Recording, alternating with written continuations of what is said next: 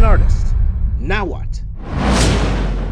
So, so that's uh, those times. Like, um, what kind of uh, timeline did he put you on? Did, did he was it, you know, I, you know the classic classic tales? But I'd love Yeah. to hear your perspective for sure.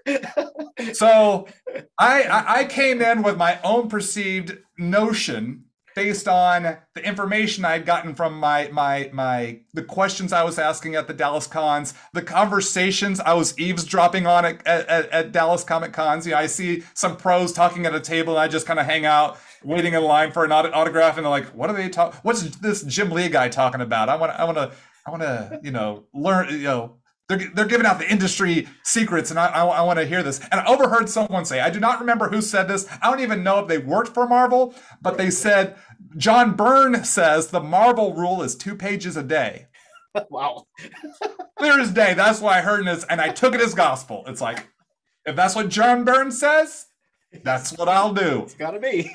So I trained myself to do 10 pages a day. Yeah, So when I get to Extreme Studios and and Rob, you know, the editor Eric Stephenson gives me my first Badrock script, it's like it's go time, and I start doing two pages a day, and Rob's like, "What?" You know, it's just like yeah, this kid is churning out pages like right and left. It's like he it, it, he he was shocked. He was shocked that I was doing getting a book penciled in two weeks. right. and, yeah, uh, so they started giving me if, if a book was late, give it to Todd. right. Yeah.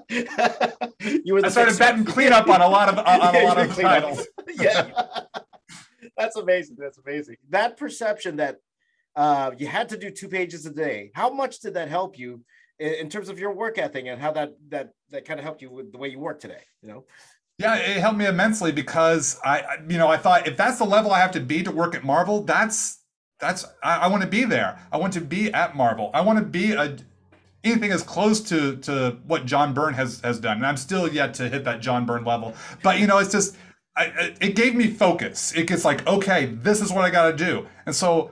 Um, a lot of guys, a lot of young artists, you know, they, they they get real good and then they have to build their speed up. For me, I think I built my speed up and then the quality had to climb to match it. But uh, you know, I could get the job done, and and sometimes it's the spark in the art.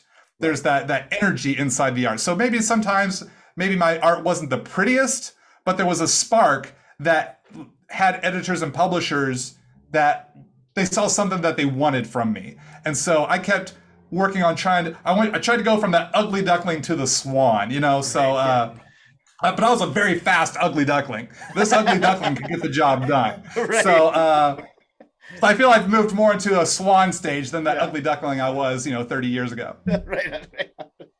So so if someone told you if, if you heard oh it's a page a day do you think that would have changed the outlook of your career maybe Yeah, well, um, you know, well, I would have focused on getting one page a day, and and um, you know, I probably, if I was just doing a page a day, maybe the the ugly duckling would have become the swan sooner. yeah, uh, maybe But but but the that that that swan would be moving at a page a day. right yeah It would be a moderately moderately paced swan. there, um, there you go there you go So you know, it's it's and that's the interesting thing. Uh, we and and another thing I would say to to young Todd or young artists is, um, and this was one of the biggest lessons I learned back in my early 30s was stop comparing my work to other artists Yeah. because I have my own experiences and resources and opportunities, just as you have your own experiences, resources, and opportunities that has shaped us as artists, that are shaping them as artists. That's their own uh, resources and opportunities. So for me, I I heard overheard two pages a day that that thrust me into a path, a trajectory that I ran with, and I and I zigzagged this way. And you learned your things, and you zigzagged your way. And and everyone's gonna zig and zag. I don't think any of us walk a straight line in our journey. We're twisting and turning, and you just never know what's around that bend that challenges us and and and shapes us and and moves us to another level that makes us all different artists.